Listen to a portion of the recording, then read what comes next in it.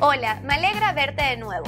¿Sabías que Phil Helmut es el jugador profesional de póker que ha ganado en más ocasiones el brazalete de la WSOP?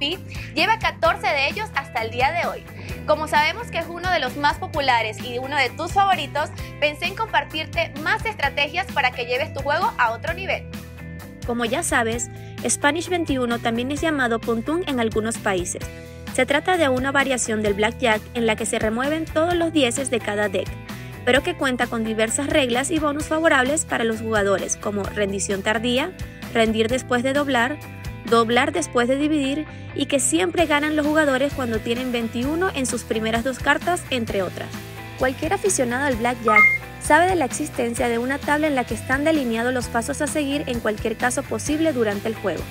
En esta tabla están las estrategias de lo que debes hacer aprovechando las reglas especiales de este juego, cada que ves tus cartas y la primera carta del dealer. Por ejemplo, si tus cartas suman 11 y el del dealer tiene un 10 o menor, se invita a doblar a pesar de que no están los 10 del deck, pues eso también podría jugar en contra del dealer, y así sucesivamente cada combinación de cartas posible.